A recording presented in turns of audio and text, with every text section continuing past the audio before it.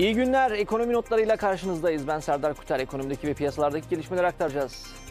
İçeride ve dışarıda yaşananlar, önemli gelişmeler. Aşı ile ilgili de önemli gelişmeler var. İngiltere'de aşı artık e, kullanılmaya başlıyor. Dolayısıyla önemli haberler. Piyasalara yansımasına bakacağız. Tüm bunlara göz atacağız ama önce bir özetlere bakalım. Hangi konular ön plana çıkıyor? Kasım ayı ihracatı geldi. Kasım ayı ihracatı 16 milyar doları aştı. Ee, yeni ekonomi programındaki yıl sonu hedefine e, ulaşılması bekleniyor. Diğer taraftan pandemi döneminde hareketli olan sektörlerden bir tanesi de otomotivdi. Konut sektörü de oldukça hareketliydi ama otomotiv sektörü de çok hareketliydi.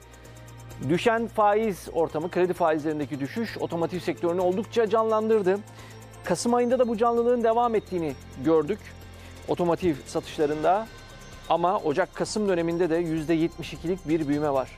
Dikkat çeken bir gelişme de hafif, hafif ticari araç pazarında.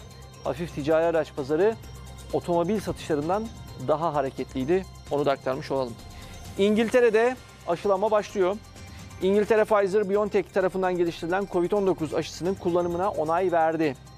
Böylece bu aşıyı kullanan ve İngiltere geliştirilen bir Covid-19 aşısına onay veren ilk batılı ülke oldu. Biliyorsunuz Avrupa Birliği'nden, Amerika'dan da onay süreci bekleniyor. Bu da yakından takip ediliyor. 21 gün arayla yapılacak iki doz şeklinde uygulanacak bu aşı. Ee, Covid-19'u ağır geçirme riski olan kişilere, yaşlılara, bakım evlerinde kalanlara verilecek bu aşı. Diğer taraftan ABD, e, ABD'nin yeni başkanı Joe Biden Çin'le ticari ilişkilere yönelik ilk önemli mesajını verdi. Biden New York Times'a yaptığı açıklamada Çin ile yapılan ticaret anlaşmasının ilk fazında yer alan tarifeleri hemen kaldırmayacağını belirtti. Biden Çin'le ticaret anlaşması yapmayacağını bu e, yatırımlardan önce Amerika'daki yatırımlardan önce de bir ticaret anlaşması yapmayacağını belirtti. Dolayısıyla Amerika Birleşik Devletleri'nde de çok fazla bir değişiklik söz konusu değil. Trump sonrasında da aynen devam ediyor. Şimdi bir de piyasalara bakalım.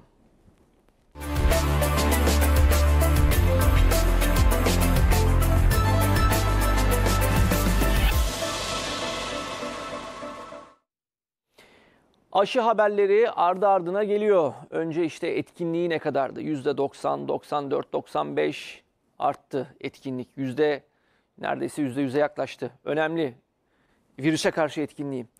Dolayısıyla bunun etkisiyle piyasalarda Kasım ayında bir rally yaşandı. Aralık ayına da dün iyi bir başlangıç yapıldı. Dün Avrupa borsalarında yükselişler vardı. ABD borsalarında yükselişler vardı. Dün Borsa İstanbul'da da sert yükseliş vardı. Peki bugün nasıl? Yani aralığın ikinci gününde nasıl bir piyasa var? Borsa İstanbul. Yatay hafif ekside artıdaydı. Tüm e, sabah açılışı ve sonrasında devamında da artıda işlem gördü. Şu anda hafif eksiye geçti 1320 puanda ama dün %3,25'lik bir artış vardı. Diğer taraftan banka hisselerine bakalım. %1,14'lük düşüş var 1450 puanda. Dün bankacılık his endeksi %4,31 artmıştı. Holdingler %3,5, ulaştırma %9 artmıştı. Bugüne baktığımızda sanayi endekste durum ne? Sanayi endekse de bakalım. Orada da yatay %0,39'luk bir artış söz konusu. Borsa İstanbul'da en çok artanlar neler? Karel Elektronik, Selçuk Ecza Depo, Ege Endüstri, Kartonsan ve Mavi Giyim olarak sıralanıyor en çok artanlar. Şimdi tabii Borsa İstanbul Kasım ayında 11 yılın en kazançlı aylık performansını sergilemişti. Diğer taraftan baktığımızda Avrupa borsaları, Avrupa borsalarında da yükseliş vardı ve Avrupa borsaları da Kasım'da 34 yılın en iyi Kasım ayını zirvesini geçirdi. Avrupa borsaları bugün işte kararsız. Bakın Londra ve Madrid çok hafif artıda. Paris ve Frankfurt ise çok hafif ekside işlem görüyor. Yani dolayısıyla kararsız bir seyir var. Diğer taraftan Asya borsalarında nasıl bir hava vardı? Ee, orada da yükselişler vardı. Çin, Şangay sonlara doğru hafif ekside kapandı. Japonya artıda, Güney Kore artıda, Hindistan, Hong Kong'da düşüş vardı. ABD borsaları dün artıdaydı. Dow Jones, S&P, Nasdaq. Bugünse vadeliler ekside. Dow Jones %0,52 ekside. Nasdaq 0,39, S&P 0,38 ekside işlem görüyor. Diğer taraftan Ons altın 1800 doların üzerine çıkmıştı. 1821 dolar. Bakın e, bin, bir haftalık görelim mi orada? Nereye gelmişti? 1765 dolara kadar gelmişti altın onsu. Sonrasında 1800 doların üzerinde devam etti. Bakın 1776 dolardı. Sonrasında tekrar 1800 doların üzerine attı kendini. Diğer taraftan Brent petrol. Orada da 48 dolarlar seviyesinde bir seyir söz konusu. O da 48 doların hemen altında 47 dolar 23 sent seviyesinde işlem görüyor. Piyasalar bu şekilde kararsız, biraz e, yatay, ekside yerler var borsalarda. Ama önemli haberler geliyor. Tabii merak ediyoruz Aralık ayı nasıl geçecek? Kasım oldukça iyiydi. Aralık ayı nasıl geçecek merak ediyoruz. Şimdi bugünkü gelen aşı haberi İngiltere'den. İngiltere batıda koronavirüs aşısına ilk onay veren ülke oldu. Pfizer-BioNTech aşısı önümüzdeki haftadan itibaren ülke genelinde kullanılmaya başlanacak. İngiltere bir ilki gerçekleştirdi. Bağımsız İlaç ve Sağlık Ürünleri Yönetmeliği Ajansı %95 etkinlik vadeden Pfizer-BioNTech aşısına onay verdi. Öncelikle 40 milyon doz aşı kitlesel kullanıma sokulacak. Ardından da yeni aşı dozları tedarik edilecek. İngiltere koronavirüs kabusuna karşı kitlesel aşılama planlarına geçmek için en kritik adımı attı. %95 etkinlik gösteren Pfizer-BioNTech aşısı için onay verildi. İngiltere Sağlık Bakanı Matt Hancock aşılama programının önümüzdeki hafta başlayacağını söyledi. İngiltere Aşı Komitesi öncelikli olarak aşı olacaklara ilişkin son tavsiyesini hızla duyuracağını açıkladı. Pfizer'ın CEO'su Albert Bourla ise daha fazla etkilendirme ve onay beklediğimizden dünya çapında yüksek kaliteli bir aşıyı güvenli bir şekilde tedarik etmek için aynı düzeyde aciliyetle hareket etmeye odaklandık açıklamasını yaptı. Pfizer tarafından geçen hafta yapılan açıklamada Alman Biontech ile birlikte geliştirilen mRNA aşısının 6 ülkede 43 bin gönüllü üzerinde gerçekleştirilen son aşama klinik deneylerinde 28 günün ardından %95'in üzerinde etkinlik gösterdiği duyurulmuştu. Gelişmekte olan piyasalara Kasım'da rekor sermaye girişi oldu. Uluslararası Finans Enstitüsü aşı haberleri ve Amerika Birleşik Devletleri'nde seçim belirsizliğinin giderilmesiyle 76,5 milyar dolar sermaye girdiğini açıkladı gelişmekte olan piyasalara.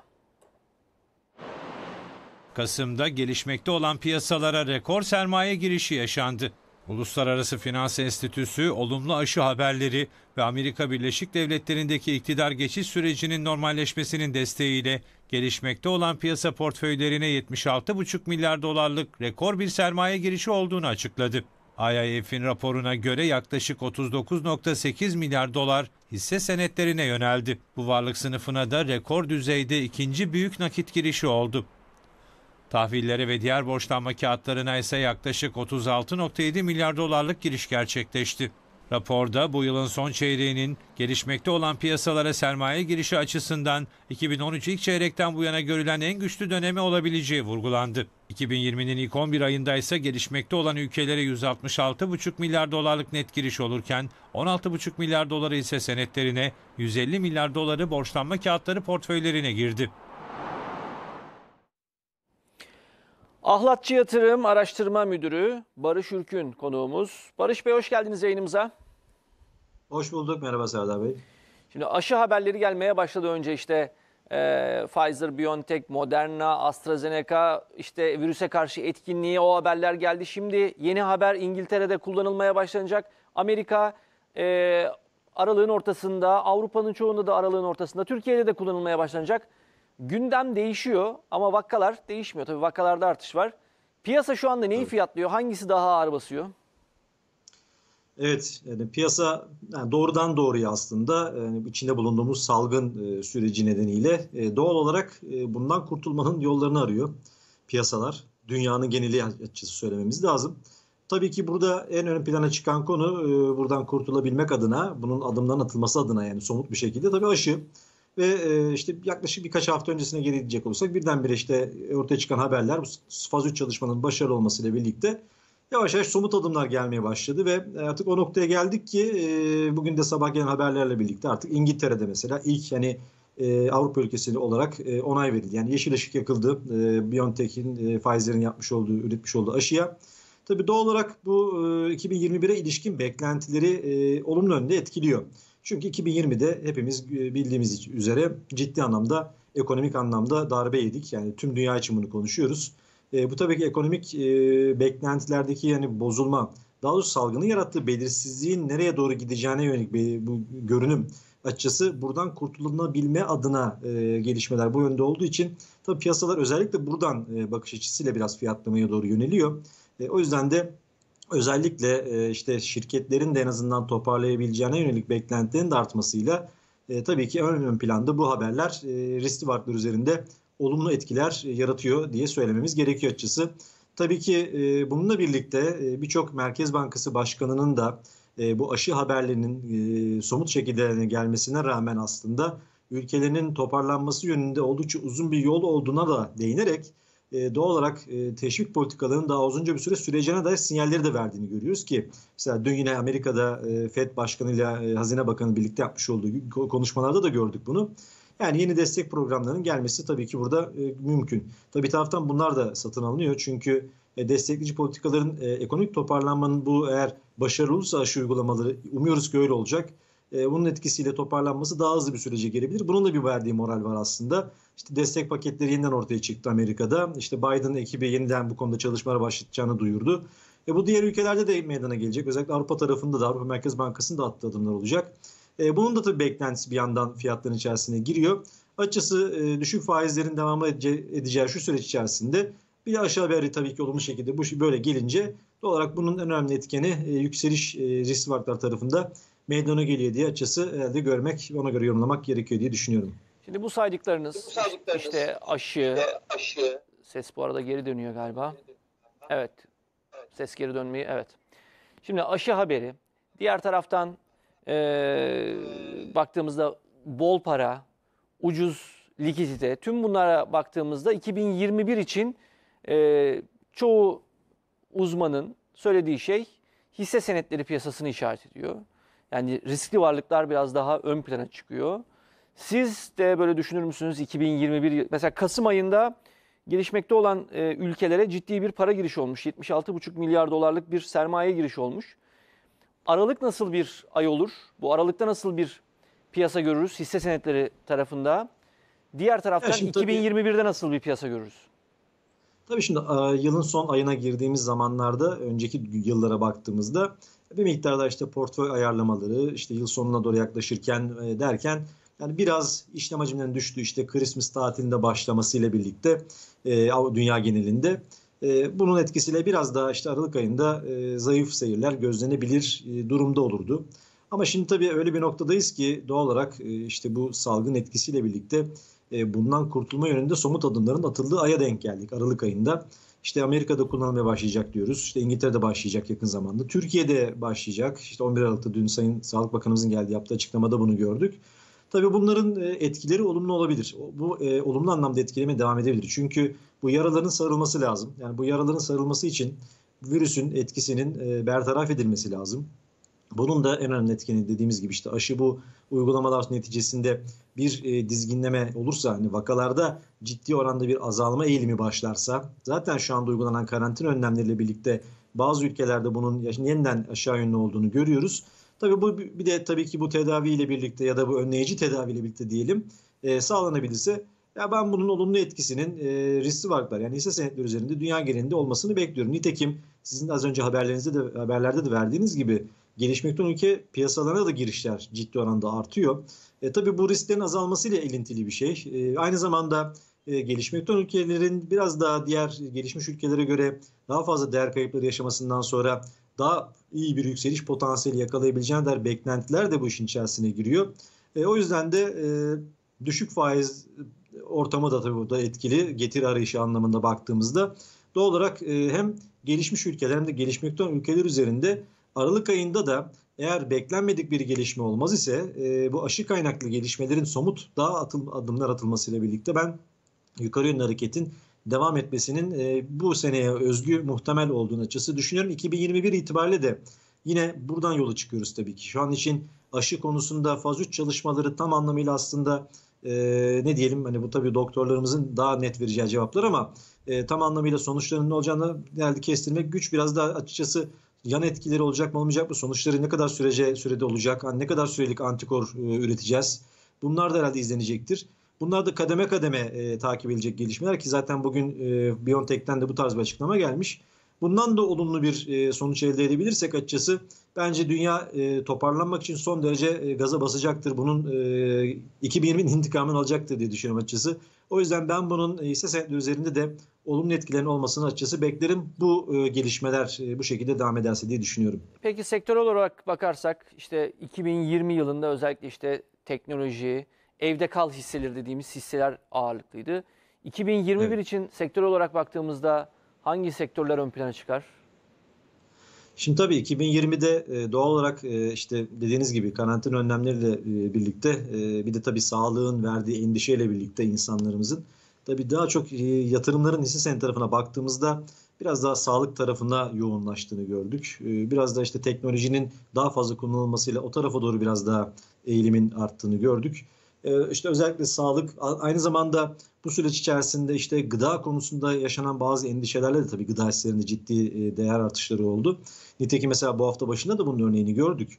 Ee, bizde de ülkemizde de e, bir önlem paketi açıklanması öncesinde e, bunun e, ne olacağına dair beklentilerin ya da endişelerin eşliğinde yine gıda hisselerinde ve e, sağlık hisselerinde ciddi, ciddi yükselişler meydana geldi. Tabii şimdi e, sonraki aşamalar için baktığımızda bu aşı gelişmelerin Çi, yani dünyanın birçok ülkesinde e, burada tabii ki Amerika başta e, İngiltere işte Çin işte Rusya'da bize Çin'den aşı gelecek. İşte bunlar çeşitli ülkelerden aşı çalışmalarının haberleri geliyor. İşte bu uygulamalar eşliğinde eğer riskler bunun yönden azalırsa yani sağlık endişeleri azalmaya başlarsa insanlar biraz daha kendini güvende hissetmeye başlarlarsa 2021 yaş, yaş- başı itibariyle bence ertelenmiş bazı e, eylemlerin tekrardan gündeme gelmesi gele, meydana gelebilir. Bence bunun önden satın alımları başlayabilir. Mesela burada işte turizm mesela başta olabilir. Turizm sektörü, ulaşım sektörü e, ya da ertelenmiş bazı işte harcamalar eğer tabii ki birçok insan tabii işini e, kaybetti. E, belki hızlı geri dönüşler yaşanabilirse de desteklerle birlikte bu sağlanabilirse tüketim harcamalarında tekrar artışlar olabilir. İşte ne bileyim mobilya tarzı mesela hisselerin e, sektöre ait hisselerin belki pozitif hareket etmesi muhtemel olabilir. Perakende tarafta da yine e, bence ticaret ağırlıklı hisselerde de bence yükselişler gözlenebilir diye açısı e, biraz daha düşünüyorum. E, bu şekilde aslında söyleyebiliriz. Peki teşekkür ederiz. Ahlatçı Yatırım Araştırma Müdürü ederim. Barış Ürkün yayınımıza katıldığınız için teşekkürler. Şimdi ihracat haberiyle devam edeceğiz. Kasım ayı dış ticaret verileri açıklandı. Geçtiğimiz ay Türkiye 16 milyar 88 milyon dolar ihracat gerçekleştirdi. 21 milyar 158 milyon dolar da ithalat gerçekleştirdi. Ticaret Bakanlığı Kasım ayına ilişkin dış ticaret verilerini açıkladı. Buna göre ihracat %0,95 azalışla 16 milyar 88 milyon dolar, ithalat %16,07 artışla 21 milyar 158 milyon dolar olarak gerçekleşti. Dış ticaret açığı 5 milyar 71 milyon dolar oldu. Altın hariç rakamlara bakıldığında ise ihracatın %0,7 azalarak 16 milyar 46 milyon dolar, ithalatında %11,4 artarak 18 milyar 586 milyon dolar olduğu görülüyor. İhracatın ithalatı karşılama oranı ise %86,3'e çıktı. Ekim'de en fazla ihracat gerçekleştirilen fasıl 2 milyar 372 milyon dolarla motorlu kara taşıtları oldu. En fazla ihracat ve ithalat yapılan ülke ise Almanya olarak kayda geçti. Verileri değerlendiren Ticaret Bakanı Ruslar Pekcan, pandemideki artış seyri, Avrupa Birliği ekonomisindeki küçülme ve takvim etkisi nedeniyle Kasım ayı ihracatında sınırlı bir daralma yaşandığını belirterek, buna rağmen yıl sonunda yeni ekonomi programı hedefimize ulaşacağımıza inanıyoruz dedi. Küresel ekonomideki daralmaya rağmen yakalanan büyüme ve ihracattaki olumlu gidişata dikkat çeken Bakan Pekcan, bu toparlanmanın başarıyla devam ettiğini gösterirken Türkiye ekonomisine yönelik olumlu beklentileri güçlendirmektedir ifadesini kullandı.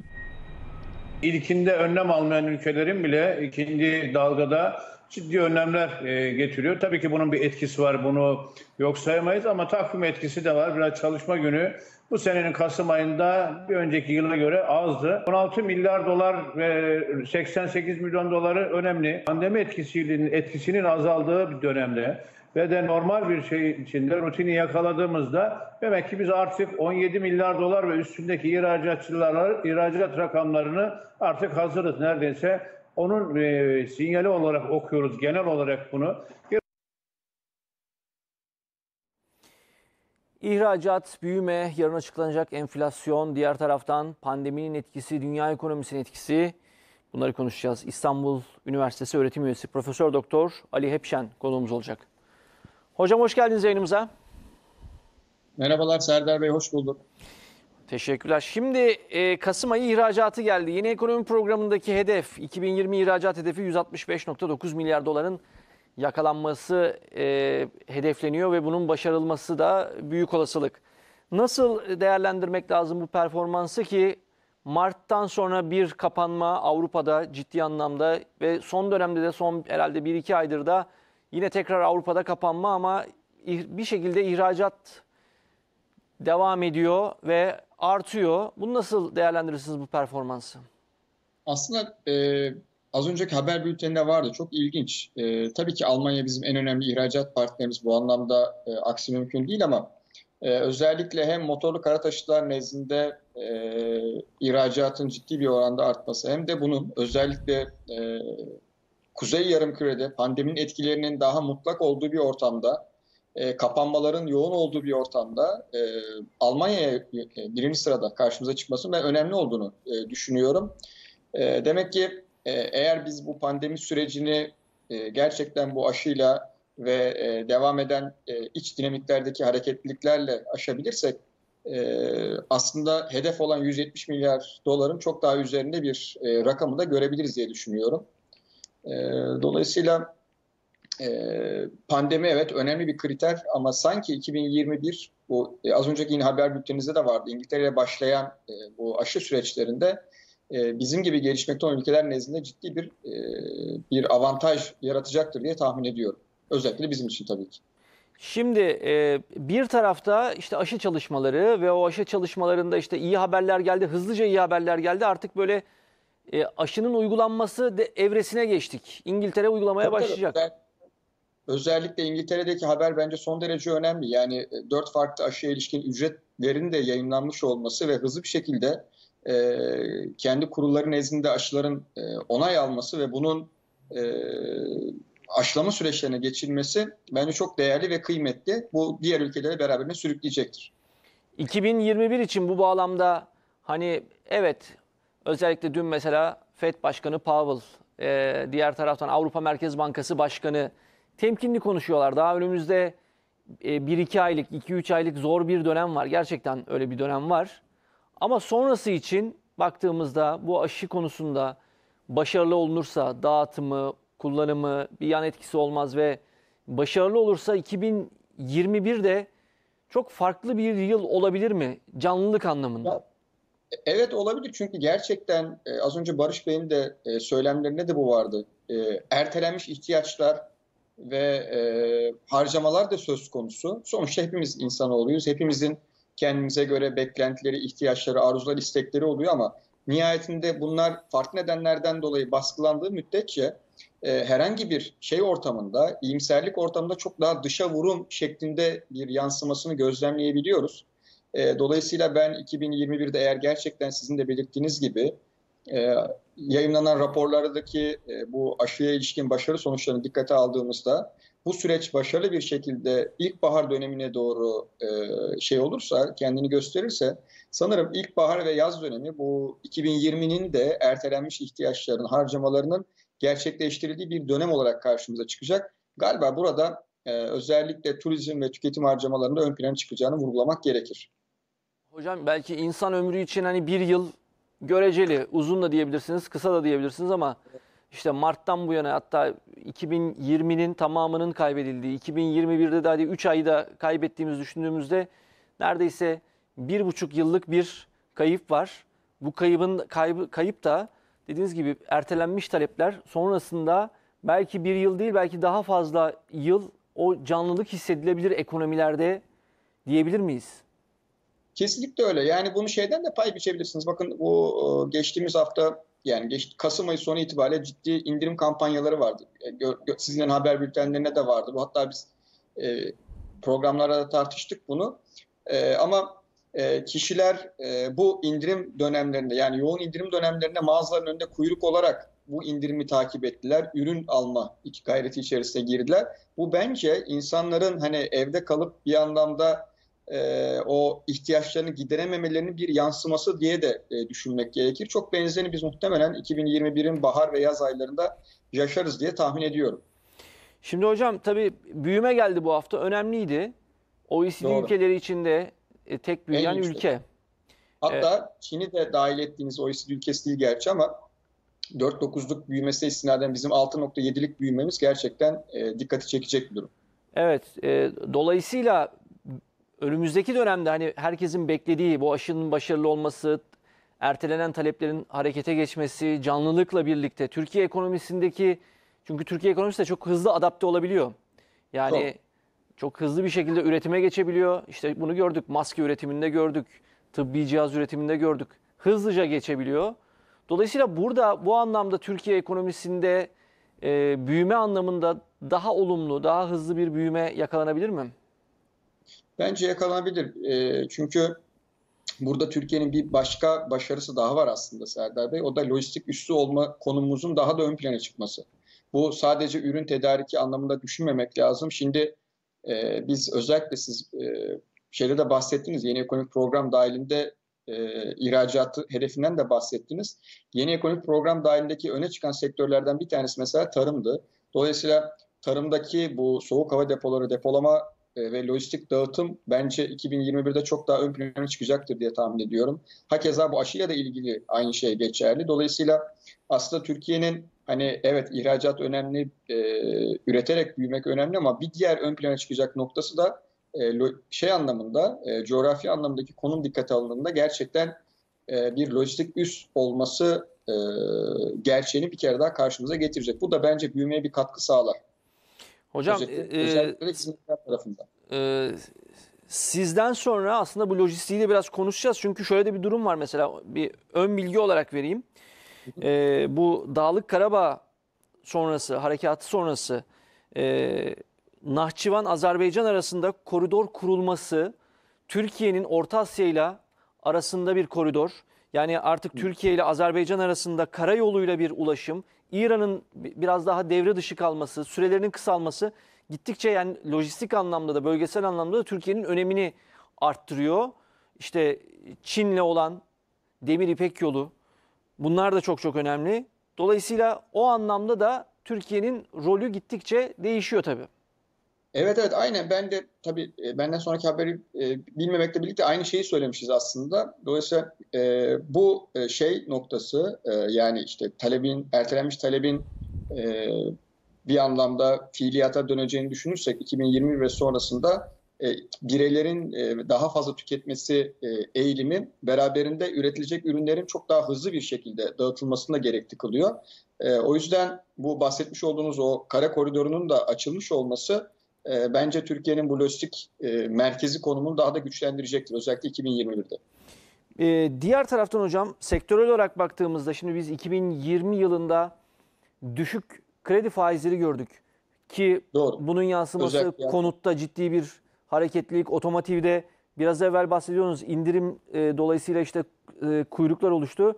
Biz şunu gördük e, otomobil bayilerinin önünde de kuyruklar oluştu otomobil alabilmek için ve bu devam da ediyor. Kasım'da da devam etti. Bir yandan düşük kredi ortamı ama diğer taraftan da yatırımların %22,5 arttığını gördük 3. çeyrekte. Bunu nasıl yorumlamak lazım? Tabii orada e, sabit sermayedeki artışa baktığınız zaman ciddi bir yükseliş var. E, demek ki e, bir de şeyi de unutmamak lazım. Özellikle ihracat tarafındaki bu e, Türkiye'nin güçlü konumunu unutmamak gerekiyor. Ee, özellikle iş gücünün kuvvetliliği anlamında dinamik bir nüfusa sahip olunmamızı dikkate alındığınızda ben sabit sermaye yatırımlarının da e, bu artışın önemli olduğunu düşünüyorum. E, burada özellikle e, iç pazar tabii ki önemli ama ihracat odaklı büyüme zaten yeni ekonomik programın da hedeflerinden bir tanesiydi. Bizim e, bunu daha ön plana çıkardığımız gerçeğini de rakamlara baktığımızda çok somut gözlemleyebiliyoruz. Evet. Diğer taraftan şimdi bu haftanın en önemli verisi büyümeydi. Üçüncü çeyrek büyümesi geçmişe dair bir veri ama olumlu bir performans. Şimdi biz e, baktığımızda Ekim-Kasım döneminde kapanma görmedik. Aralık döneminde işte işte bu hafta başlayarak hafta sonu sokağa çıkma kısıtlaması, hafta içi belli saatten sonra sokağa çıkma kısıtlaması ama iş devam ediyor. Çalışma hayatı devam ediyor bir şekilde. e, dördüncü çeyrek büyümesi ve yıl sonu büyümesiyle ilgili beklentiniz nedir? Ee, Burada tabii üçüncü çeyrek büyümesine ilişkin sizin e, vurguladığınız ayrıntı önemliydi. Özellikle düşük faiz ortamında büyüdük ve tük, e, şeye baktığımız zaman e, tüketicilerin milli gelir içerisindeki etkisine baktığımız zaman %58'lik bir etkisi var tüketim harcamalarının. Dolayısıyla e, başta konut e, ki zaten mesela örneğin konut kredileri pandemi e, döneminde yanlış hatırlamıyorsam Mart 2020 ya da 2000, Nisan 2020'de 202 milyar TL'ydi. Bu Eylül'de 272 milyar TL'lik bir bakiyeye çıktı. Hı hı. Hakeza aynı şey taşıt kredilerine de karşımıza çıktı. Bunların etkisine bağlı olarak büyüdük ama buradaki en önemli nokta sürdürülebilirlik. E, aynı hızla herhalde e, son çeyrekte büyüyemeyiz diye tahmin ediyorum ama buraya artık yavaş yavaş ihracatla yani iç tüketimden ziyade ihracatla e, büyüyebilir bir ülke haline çevirmemiz bence son derece e, önemli olur. Çünkü en nihayetinde artık e, geldiğimiz nokta sürdürülebilirlik. E, burada ihracatta belki yeni teşviklerin getirilmesi, yeni modellerin getirilmesi gerekiyor. Mesela geçtiğimiz günlerde ihracatla ilgili çok ilginç bir haber vardı. İhracatçı e, konteyner bulamıyor şeklinde. Mesela bu bence önemli bir ayrıntı. E, bir gazetede çıkmıştı yanlış hatırlamıyorsam. Evet doğrudur. Mal göndereceksiniz, konteyner bulamıyorsunuz. Dolayısıyla bu sorunların mutlaka giderilmesi gerekiyor. Yarın enflasyon gelecek. Kasım ayı enflasyonu saat 10'da. Ee, ne beklersiniz ve yıl sonu için beklentiniz nedir? Ve 2021 yılında herhalde en çok bakılacak yer enflasyon olacak. Tü- herkesin bakacağı yer. Enflasyonla ilgili beklentileriniz neler? Bence e, yani hani rakam vermek tabii çok zor bu anlamda ama e, özellikle Kasım'a ilişkin e, nispeten Covid'in de etkisiyle tüketim harcamalarının kısıldığını dikkate alırsanız ben beklentiler dahilinde geleceğini öngörüyorum. Yıl sonunda herhalde %12'ler civarında kapatır diye tahmin ediyorum enflasyonun. E, dolayısıyla hani böyle çok yüksek bir enflasyon e, beklentisi içerisinde değilim. Tabii ki e, burada üretim maliyetlerindeki artış son derece önemli ama e, dar alanda bir iç piyasa olduğunu kabul etmek lazım. Özellikle iç tüketim harcamalarında. Çok teşekkür ederiz İstanbul Üniversitesi Ben- öğretim üyesi Profesör Doktor Ali Epşen yayınımıza katıldığınız için. Sağ olun Serdar. Şimdi Ali Hoca ile de biraz değindik, biraz konuştuk. Kendisi de lojistik konusunda Türkiye'nin ne kadar önemli bir lojistik üssü olduğunu, üretim merkezi ve lojistik üssü coğrafi konumundan dolayı ne kadar önemli olduğunu anlattı. Şimdi Türkiye ile Çin arasında kurulan bir demir ipek yolu söz konusu. Bununla birlikte özellikle süre anlamında çok kısaldı. Çin'in Avrupa'ya ulaşması daha da kısaldı. Ve Türkiye burada önemli bir koridor. Türkiye'nin de Çin'le bağlantısı sağlandı. Şimdi bir bağlantı daha sağlandı. Bu da yeni oldu. Şöyle ki Dağlık Karabağ Harekatı sonrası sona, e, sona erdirilen ateşkes, ateşkes anlaşmasının en önemli kazanımlardan biri de Nahçıvan Azerbaycan arasındaki koridorun kurulması oldu. Bakın şimdi e, Azerbaycan hemen Türkiye sınırında Nahçıvan var. Oradan e, gördüğünüzde Azerbaycan'a bir koridor kurulmuş oldu Dağlık Karabağ ile birlikte. Dolayısıyla bu koridor nereyi ayırdı? İran. Çünkü Türkiye İran içinden, İran karayolu olarak baktığımızda İran içinden Azerbaycan'a ulaşıyordu. Şimdi bu yol Nahçıvan ve Dağlık Karabağ ile birlikte Azerbaycan'a ulaşılacak. Yani yol biraz daha kısalacak. Bu çok önemli bir kazanım. İşte bu kazanımın detaylarını e, şimdi konuşacağız. Ne anlama geldiğini konuşacağız ve Türkiye'ye nasıl bir fayda sağlayacağını konuşacağız. UNED İcra Kurulu Başkanı Fatih Şener karşımızda olacak. Fatih Bey hoş geldiniz yayınımıza. Hoş bulduk. İyi yayınlar. Küçük bir düzeltme. e, Strateji ve İş Geliştirme Başkanıyım efendim. Ha, evet. Strateji ve İş Geliştirme Başkanı düzeltiyoruz. Ee, Peki bu bağlantı, karayolu çok önemli. Azerbaycan önemli bir yer. Sonrasında devamında önemli bir e, ülkeler topluluğu var. Çok Doğru. farklı yerlere açılıyorsunuz. Dolayısıyla bu karayolunun kısalması ne anlam ifade eder?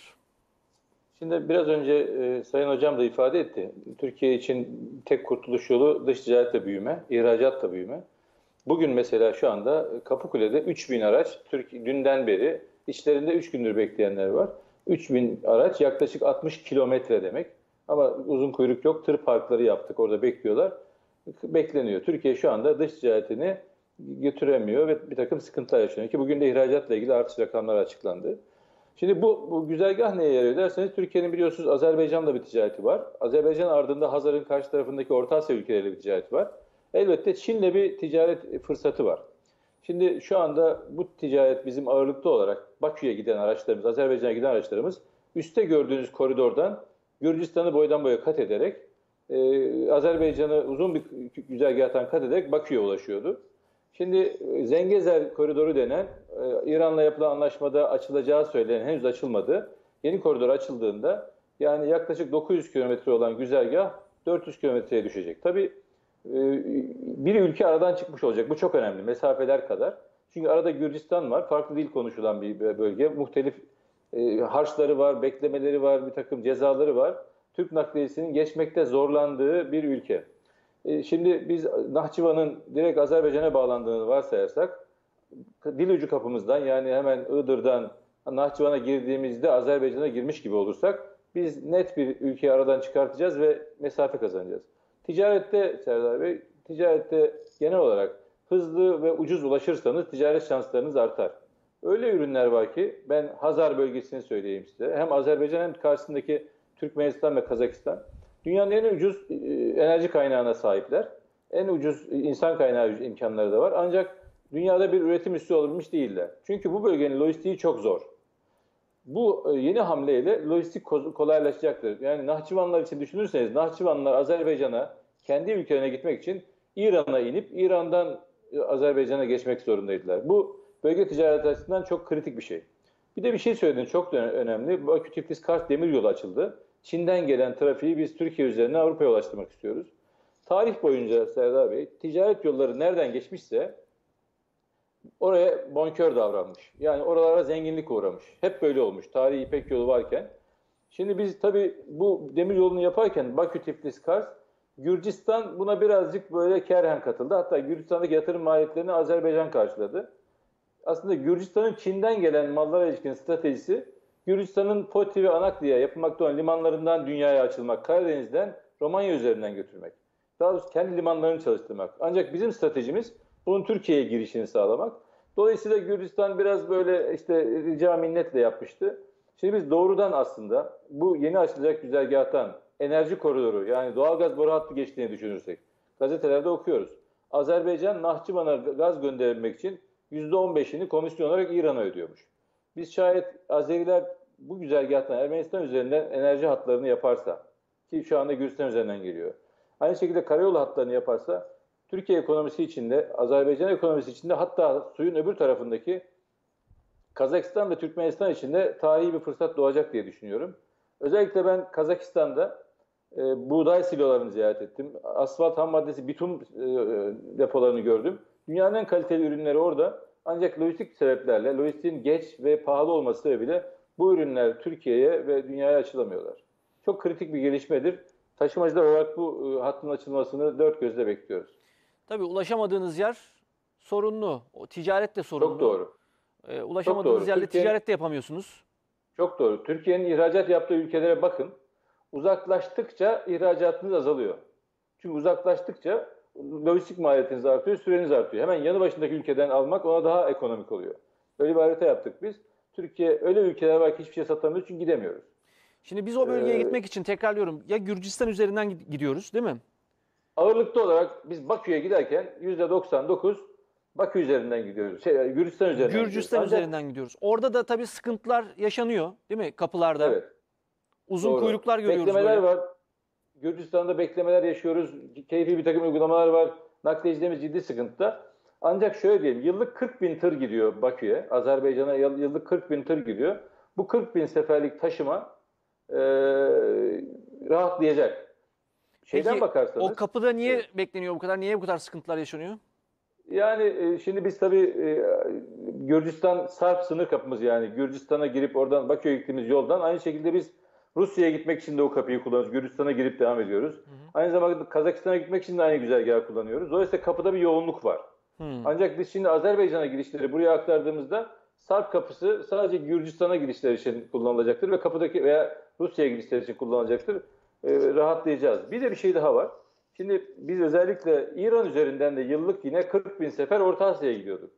İran'ın arkasındaki Türkmenistan kapattı kapılarını pandemi sebebiyle. Dolayısıyla biz İran üzerinden hiçbir yere gidemez olduk.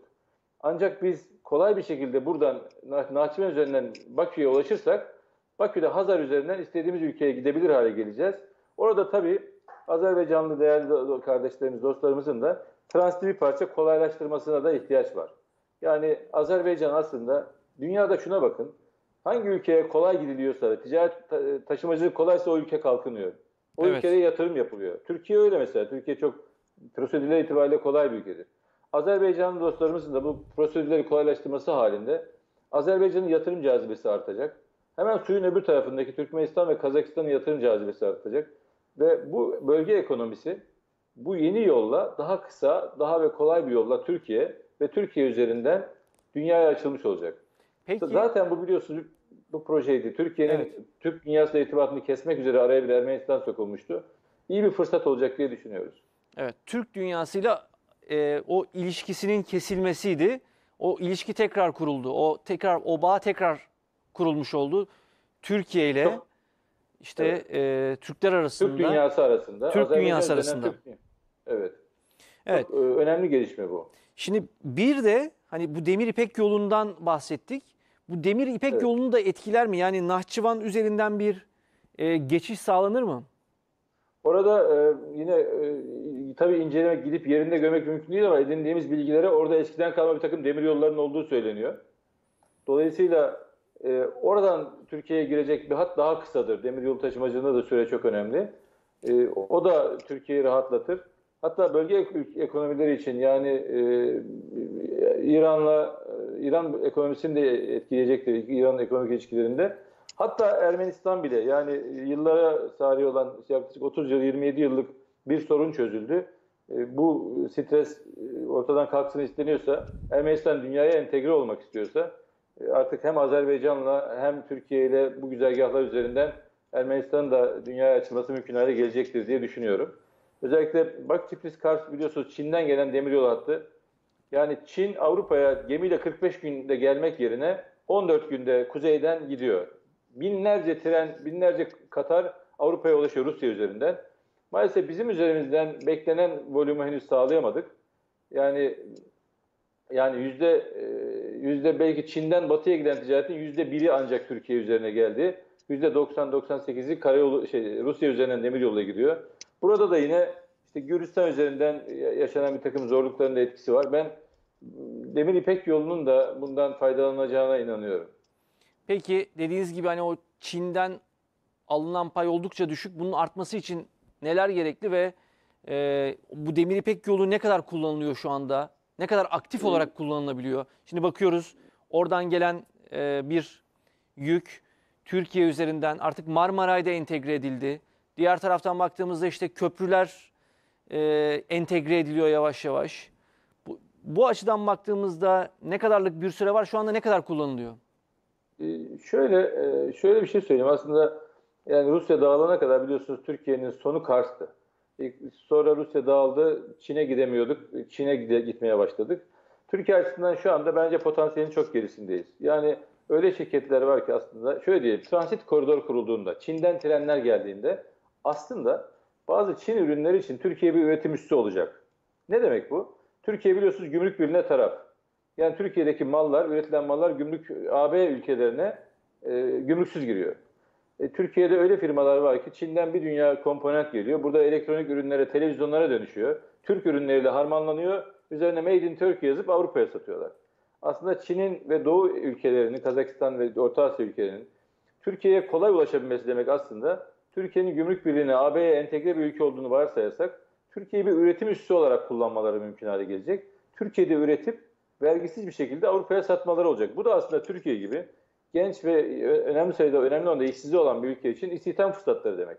Şu anda gelen ürünler ya Türkiye'ye geliyor ya da geliyor Mersin limanından Avrupa'ya açılıyor. Şimdi biz Rusya'dan Avrupa'ya yol var dedik ama Avrupa'nın kuzeyine Polonya'ya ve e, Almanya'ya gidiyor. Ama Güney Avrupa için konuşursak yani İtalya ve Fransa gibi ülkelere, İspanya gibi ülkelere konuşacak olursak aslında aslında güzergah Türkiye üzerinden giden, Mersin üzerinden gidecek hattır. Zaten haritaya baktığınızda bir kuş havalansa Çin'den Avrupa üzerinden gitmez o bölgeye. Direkt Türkiye coğrafi bir koridor.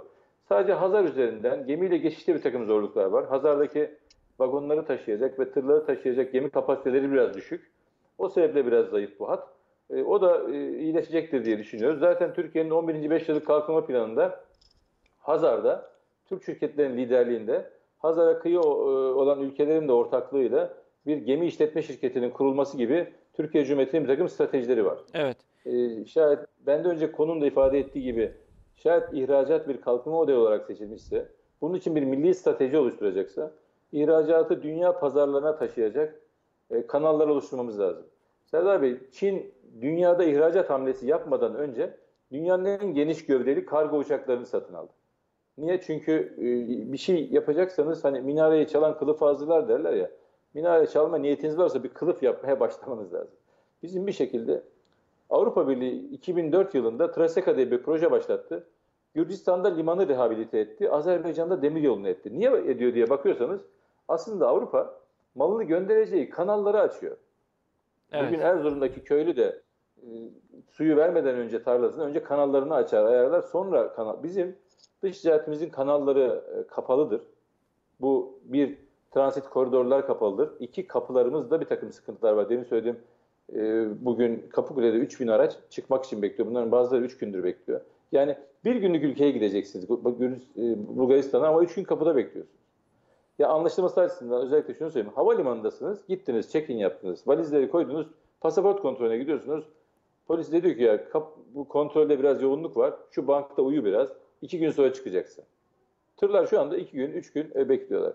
Bu kanal, yani özellikle Zenge, Zengezen, Zengenur kanalı diyelim, e, bu kanal e, bizim için yeni bir nefes borusudur. Türk dış ticareti Evet. için hayırlı olsun diyorum.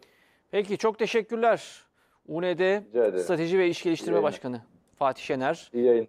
Teşekkürler. Anadolu'yla Türk dünyasının e, buluşması diyebiliriz. Bu Karabağ zaferi sonrası e, Türkiye, Iğdır'dan Nahçıvan, oradan e, Dağlık Karabağ, Azerbaycan ve Türk dünyasına ulaşması anlamında çok çok önemli. Sonrasında işte Çin'e kadar uzanan bir yoldan bahsediyoruz.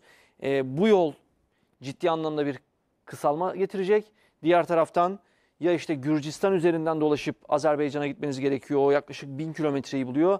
Ya da İran üzerinden gitmeniz gerekiyor. O da çok az kullanılıyor.